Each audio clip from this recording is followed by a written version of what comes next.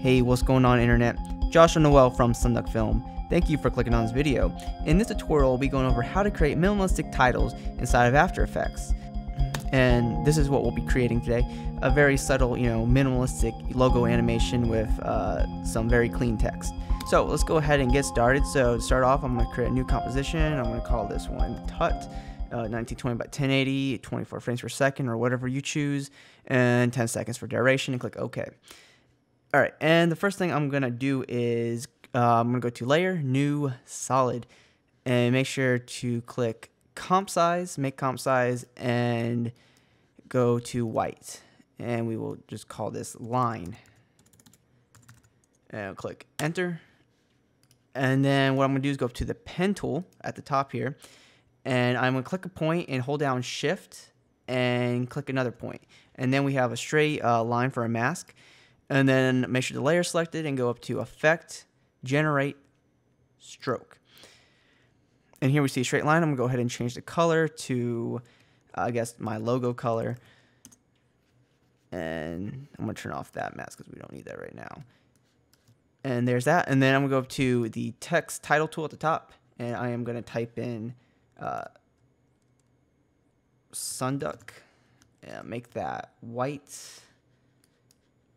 And I'm going to go ahead and put that to medium and raise the font up.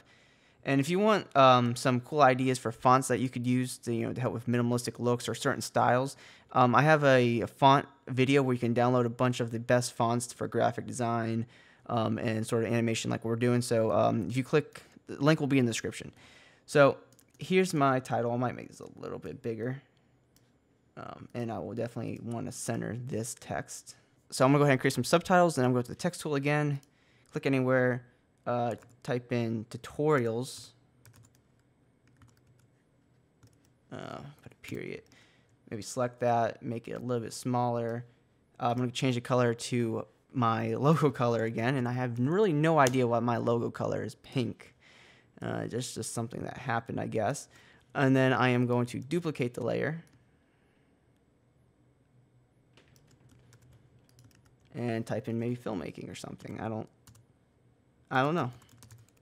Whatever I feel like doing. So there's filmmaking. And I'm going to spread these two apart. Uh, and then also I need to make sure both these layers are selected and I need to go ahead and change the uh, boldness to light.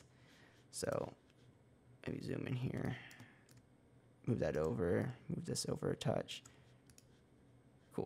And one little technique that you could do to, you know, if you're having trouble matching up your subtitle text to your main title, like, you know, have perfect, you know, length, what you could do is create, go to layer, new, null object, select the two subtitle layers, parent it to the null object, and then you can, you know, scale it and you won't have any issues with that. But I don't really think I need to do that. Well, maybe 99.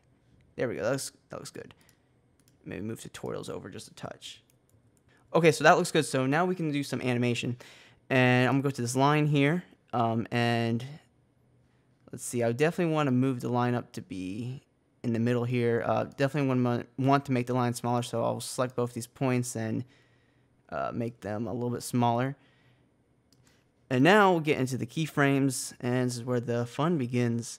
So, uh, I have my line layer selected. I'm going to go to stroke and click the stopwatch for end. Hit U on my keyboard to bring up the keyframe. Uh, move it forward in time, maybe, you know, not a second, but you know, maybe 18 frames.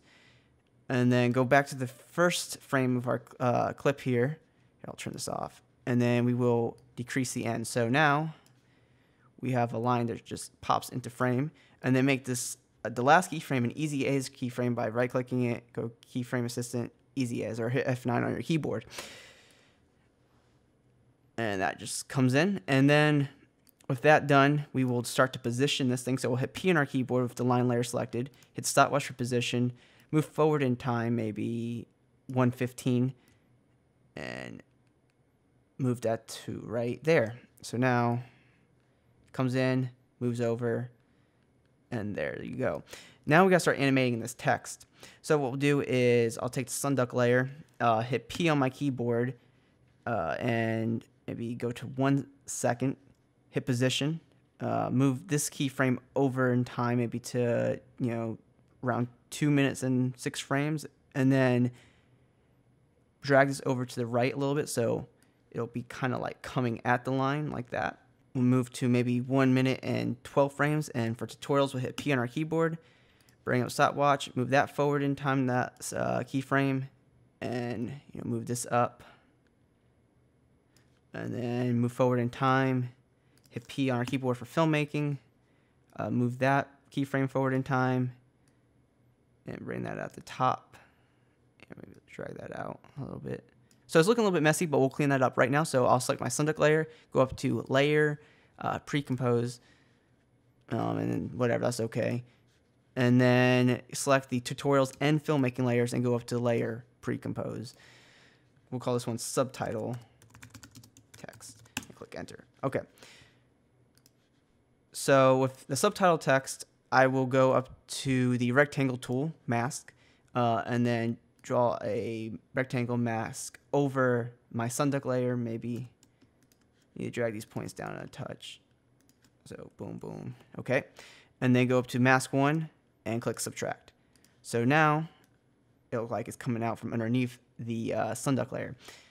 And then for the subject layer, I will select that. And when we get to right here, once the line is fully developed, I will go back to the rectangle tool and draw out a mask that's pretty wide. Maybe need to adjust that a little bit. And we'll just drag this off screen. And then we'll hit M on our keyboard to bring up the mask path. Click keyframe and then go forward in time until the line stops. Which seems like it stops. Yeah, right there. And then we will drag the entire rectangle mask over to the line. So now, if we take a look at this, everything comes on nice and clean. And I'm going to go ahead and speed that up a little bit, my Sonduck layer. So go into that comp and just speed that up. Nope. So it'll look like the line and the Sonduck layer are coming at each other and the uh, subtitle text is just going to scroll down. And I'm going to go ahead and speed that up as well by dragging in their keyframes closer. And then we'll make the little circle and put our logo in it. So what I'll do is I'll create a new layer. Uh, make sure the width is 1080 and the height is 1080. And I will make the color my uh, logo color. So there it is. And then go to the ellipse tool. Double click it. So then we have a circle. Hit S on our keyboard to bring up the scale. Um, then I'm going to click like 6%. And then I'm going to move this to about right here. So I'm gonna go ahead and bring in my logo, or you can even just use a you know a text. But I'm gonna bring in my logo, and then quickly I'm gonna go to generate fill and make that white. And then I'm gonna scale down my logo, probably to about four percent. Then I'm gonna select my circle layer and my uh, logo and go to align and use the center tools to make sure they're perfectly centered. Then with that, I'm going to pre-compose both these layers and call this one circle logo. And then I'm going to go to the uh, pan behind tool and drag the anchor point to the bottom of the circle here. Then hit S on our keyboard. Move that forward in time and hit zero on our keyboard. And that will scale in. And then we need to animate out this line here. So once that comes in about right here in time. So I'll go to our line layer and then click the stopwatch for start. Um, and then turn that off. Hit U on our keyboard, move forward in time, and drag that all the way to 100%. So now and maybe open that up. Move this forward. So there, it looks like that the circle, the line is, you know, developing the uh, circle layer. And that's kind of what we have. And it's looking really good. So, so let's go ahead and make sure to enable motion blur for these layers. So go to the subtitle text, uh, you know, turn on motion blur for them. Go to this, uh, your title comp, turn on motion blur for that, um, and then turn on motion blur for everything in here. And I wouldn't suggest turning on the motion blur for the line since it's already so thin and you really won't be able to see it. But make sure uh, the motion blur at the top of your timeline is enabled so there it looks like everything kind of comes in nice and smooth. If you turn on motion blur for your line, you're not going to really be able to see it. So that's why I suggest not turning motion blur on for the line. And that look that's looking pretty good. So a quick way to reverse this effect um, is to pre-compose everything. I'm gonna call this, you know, main. I don't know. then what we'll do, you know, we'll come to like, you know, four seconds.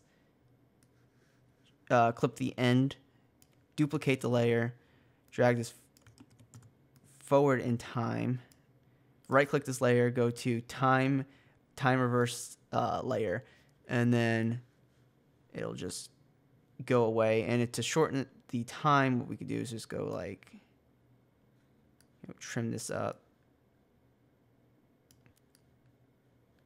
You know, maybe trim off the end here. So there and there you'll have a clean exit. So, um, you know, if you could put this over, you know, any type of footage that you want, um, Move this forward. Of course, you know, let's see, put a blur on this, Gaussian blur. Blur this out a lot. And, you know, sometimes, you know, if you're going to put this over live action footage, you might have to add like a drop shadow, you know, or you might need to change the colors of your uh, text or, you know, even change the font. But, you know, even a subtle drop shadow, even though it's not necessarily a minimalistic sort of style, you know, it can look pretty good. You know, if you lower the opacity, you know, make the distance like two, you know, it's very subtle and you really even, you don't even really recognize it's, that it's there. So just something to keep in mind uh, when you're doing, uh, when you're putting titles over footage or whatever you're doing. So that's pretty much it. If you have any questions or have a request for a future tutorial, please leave a comment down below and I'll get back to you as soon as I can. Um, and if you haven't already, please consider subscribing. And if this tutorial has helped you, please drop a like. It helps me out tremendously. Uh, thank you guys so much for watching, and I'll see you guys soon.